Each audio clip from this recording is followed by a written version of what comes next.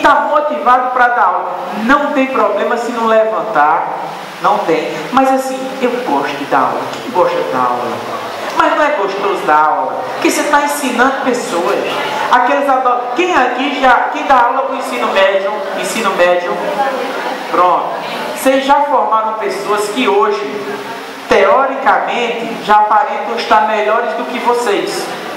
Você olha para o menino e diz, cara, eu vi esse menino assim, o menino está lá, doutor médico, ou um professor já com mestrado de faculdade, o cara está bem. Graças a vocês. E aquela criança, a menina que estava lendo aqui é filha de alguma professora? Parabéns. Você viu a menina lendo? Precisa perguntar se essa menina vai se dar bem? Claro que vai se dar bem. Agora, o pai tem que ajudar, a mãe tem que ajudar e desenvolver o talento que ela tem. Ela vai precisar de puxão de orelha? Vai. Normal. Mas a menina falando aqui, às vezes estava lendo melhor do que alguns professores. Não porque o professor não sabe ler, mas porque tem vergonha de ler aqui na frente. Que tem gente, se eu chamasse aqui, quem tem coragem de vir agora aqui na frente para debater coisa comigo? Hum, um desafio, né? Para ganhar o perfume do Boticário. E aí eu pergunto para vocês, qual a história que você quer contar da sua história? Eu já perdi minha avó. Minha avó foi um amor de pessoa. Mas minha avó não tinha história. A história que minha avó contava para mim era de desgraça. Tudo para ela não prestou. O marido não prestou, a vida não prestou, nunca trabalhou, se aposentou por idade, passou fome. Ela não tinha história para contar.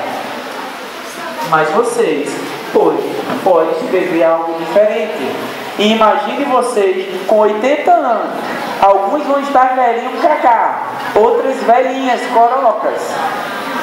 E aí vai ter um aniversário surpresa de discurso. E aí você vai discursar. Qual a história que você vai querer contar naquele discurso? Vai ser uma história de vitória ou uma história de derrota? Você precisa definir isso hoje. Quem aqui tem sonho ainda? Que beleza, né? Quem aqui quer comprar a tão sonhada casa própria? Dessas pessoas que levantaram a mão, acredito que vocês têm mais de 20 anos, certo? Sabe uma coisa engraçada? Eu faço essa mesma pergunta para adolescentes do ensino médio. Só que eu faço assim, daqui a 10 anos, e coloque-se no lugar deles agora. Como é que vai estar sendo a sua vida? A maioria diz assim, 10 anos, está com 17, 27, 30, beleza?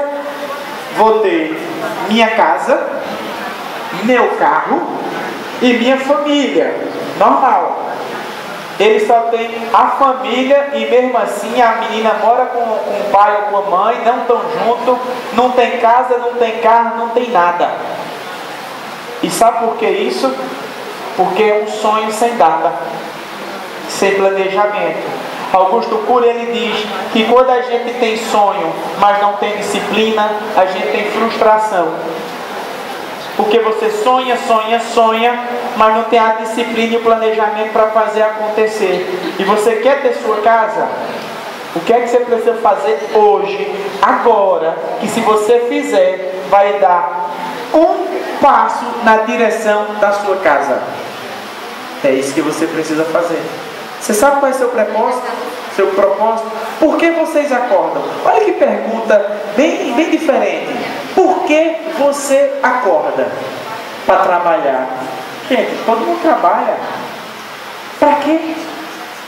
Eu acordo todo dia pensando em ajudar alguém. Eu gosto tanto de ajudar que às vezes eu estou numa fila e vejo o pessoal conversando, eu fico me chegando para ver se alguém vai perguntar alguma coisa só para ajudar. Se bem que a gente vê fila já quer entrar, né? Que brasileiro não pode ver fila, ele pergunta para que é e entra. Você vê uma fila lá, você começa a ficar curioso, você vai chegando, tá lá na fila, o pessoal chega, essa fila é para cá, não sei não, mas eu estou aqui.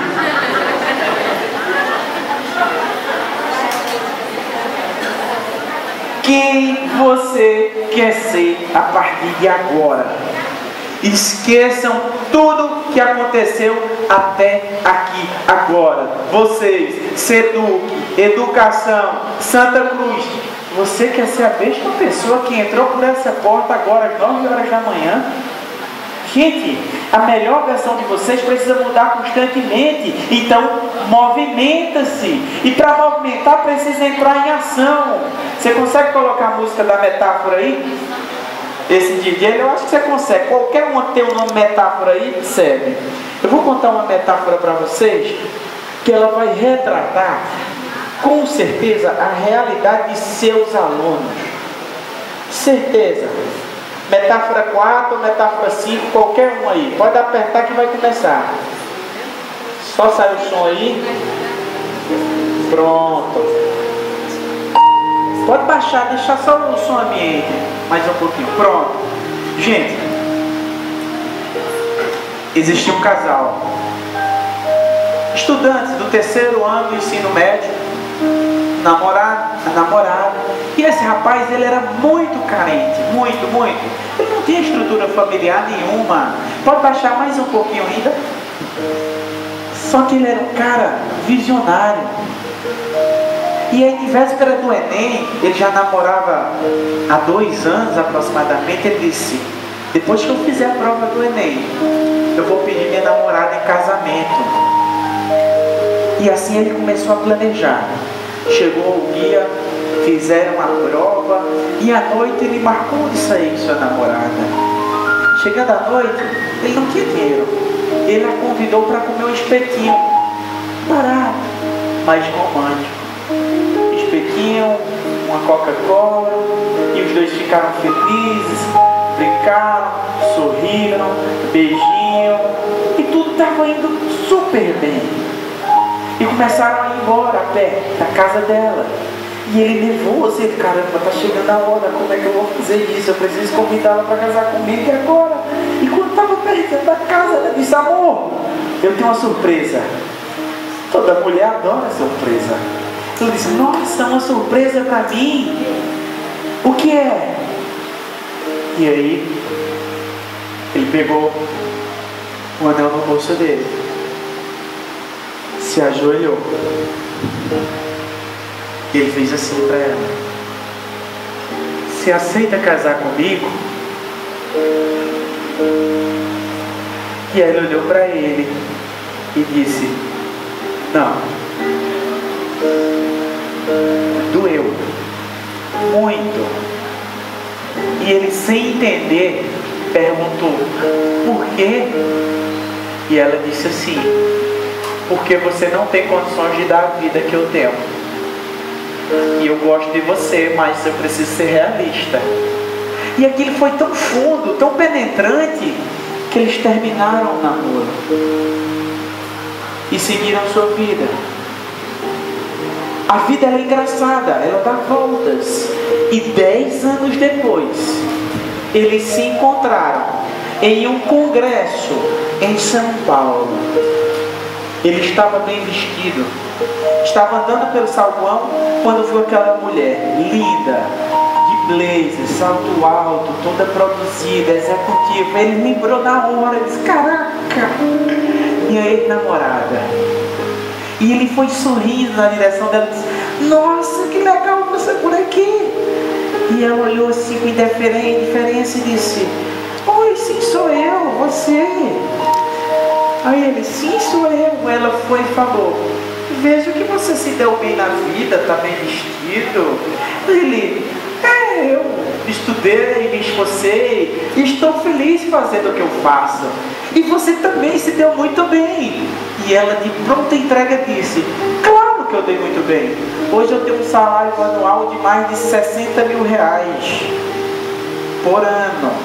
Mas meu marido ganha quatro vezes mais que eu. E quando menos espera, quem está saindo ali? O marido dela. E estava vindo. E quando ele viu o rapaz, ele deu um sorriso. Nossa, você! E abraçou o cara, como é que você está? Tudo bem? E tal. E conversaram. Mas o telefone do ex-namorado dela tocou. Nossa, eu tenho que ir. Valeu, valeu, valeu. Estou me chamando um abraço. Foi bom te ver. E ele saiu. E ela, sem entender nada, andando com o marido dela, disse: Amor, Você conhece aquele rapaz? E ele disse: O meu amor, me desculpe, claro que eu conheço. Foi ele quem me promoveu. Ele é o atual presidente da empresa que eu trabalho.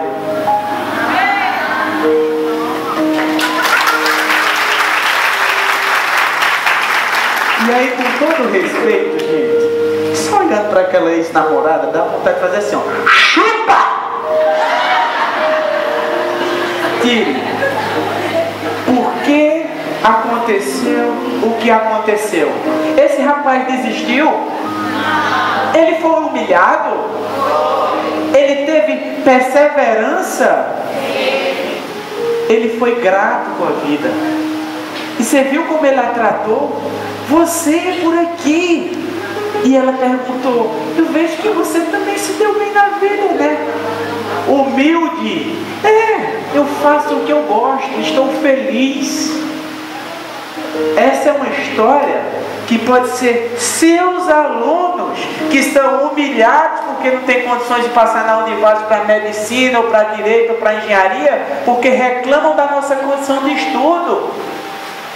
Só que às vezes a gente deixa isso entrar na cabeça deles e a gente não motiva. A gente tem que ser o pulmão que faz esse cara respirar. Acredite. Quantos médicos aqui não têm saído daqui? Aqui tem algum médico que saiu daqui e ele era pobre. Ou dentista, ou advogado, ou professor que está super bem na vida e não tinha condições. A gente precisa agir. A gente precisa ser agente de mudança na vida dessas crianças. Vocês são importantes para eles. Alguém aqui tem um professor que você nunca vai esquecer na vida? Tem, não tem? Como tem um que você faz questão de esquecer, mas não esquece. Vamos focar na coisa boa. Vamos fazer as coisas acontecerem. Segura o som, meu garoto. Eu sou Seduc, educação eu sou. Santa Vamos de novo. Eu sou Seduc. Educação Santa Cruz. Show, show. Palmas, palmas.